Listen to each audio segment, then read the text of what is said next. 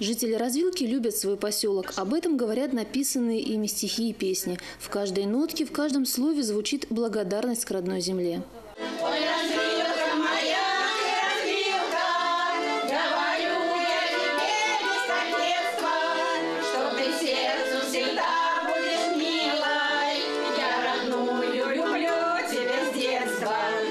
Автор этой песни – преданная своей малой родине и русской культуре участница ансамбля «Надежда» Валентина Баранчикова. Для вас народная песня вообще что значит? Но это моя жизнь, это моя душа.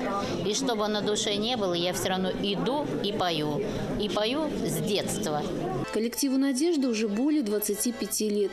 Красавиц в русских сарафанах узнают и любят в поселке. Песни народные мы любим просто за нашу Россию, за нашу, э, то самое, нашей страны песни. И патриотические, и народные, и лирические. Мы любим до безумия это дело заниматься.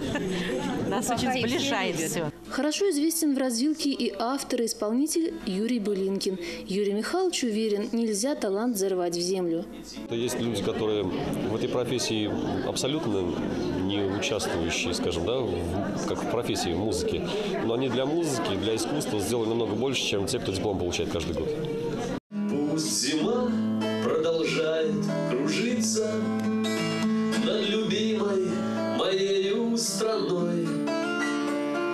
Однажды Россия, как птица, встрепенется чудесной весной.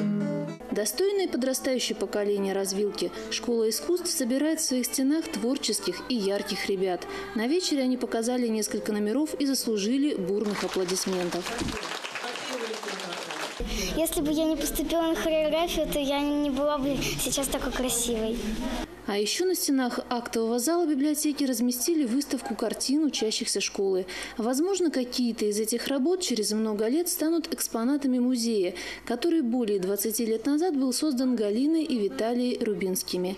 На этом вечере супруги рассказали о своем детище и о том, насколько важно знать свою культуру, историю и традиции. На мероприятии также присутствовала Вера Маркина, заместитель главы поселения Развилковская. администрации были э, э, проведены ряд конкурсов. Это и лучшая фотография, лучшее стихотворение, лучшая песня о развилке.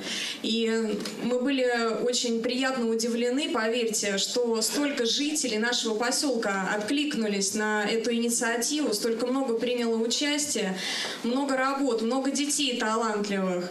Директор межпоселенческой библиотеки Татьяна Лукашова вручила Вере Марковой почетную грамоту за вклад в развитие культуры.